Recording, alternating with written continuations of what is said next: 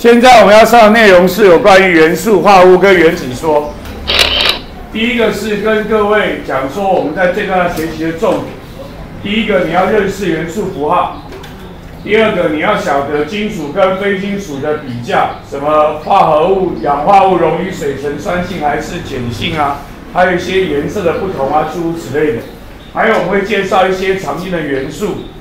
啊，一些性质记下来。然后呢，我们会谈一下周期表，要知道周期表怎么出来的，然后可以看到什么事情，然后我们会介绍碱金族、碱土族跟卤素，把每一组的性质记住。最后是一个大重点，可以说每一次考试都会考的大重点叫做原子说，原子说。然后呢，有原子说有个粒子观点，用粒子观点解释物理变化，解释化学变化，解释纯物质，解释混合物，你要了解，OK。第一个我们要讲的是元素跟化合物。元素就是基本材料，组成物质的基本材料。过去的说法叫做没有办法用一般的化学方法，比如说加热啦、通电啦这些方式，照光啦，把它分解成更基本、更简单的物质，这种叫做元素。所以元素的概念就是它是组成物质的基本材料，基本材料。还有分作金属元素跟非金属元素。金属元素的性质，第一个它有金属光泽，看起来亮亮，有延展性，可以敲敲打打变薄，可以拉长，然后是电热两导体，电热两导体容易导电，容易导热。颜色通常都是银白色、银灰色，但是我们国中教两个不是，国中我们教两个东西不是。一个叫做金，金就金色、金黄色，一个头。有人写红棕色，有人写紫红色，有人写红色，反正就是有一点红红的，对不对？所以就这两个，我们国中叫这两个东西，不是银白色、银灰色。重点，金属氧化物溶于水呈碱性。我讲过了，这件事常考，但考试的时候基本上没人问你它是酸性还是。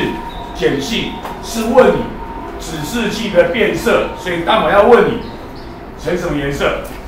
酸性什么颜色，碱性什么颜色，我们是用直接颜色来考你，不是直接问它是酸性还是碱性，不是。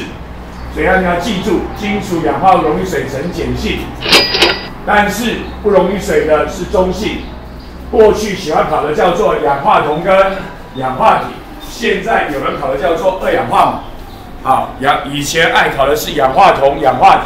现在有人会考的是二氧化、二氧化锰这些东西，它不溶于水，所以它的放到水中拿来之后成的是中性，要记住，OK，要做金属元素，再叫非金属元素，那就基本上大致上跟金属是相反的，它没有金属光泽，没有延展性，所以做实验的时候用铁锤一敲就。碎掉，都碎掉，然后呢，是颜色呢就很多变，然后还有个导颜色很多变，呃，绿是黄绿色，锈是暗红色，点是紫黑色，然后正好是气态、液态、固态。这个古时候很喜欢考，现在应该不太会考，但是你还是把它记一下，你还是把它记一下啊，因为点还会有升华，会有紫色气体之类的，所以要记一下啊。所以颜色啊。非金属的颜色变化会比较多，比较多，OK。然后非金属元素通常是电热的不良导体，不会导电，不会导热。但是有个例外，石墨，不要写碳，因为我们后面会提到同素异构体，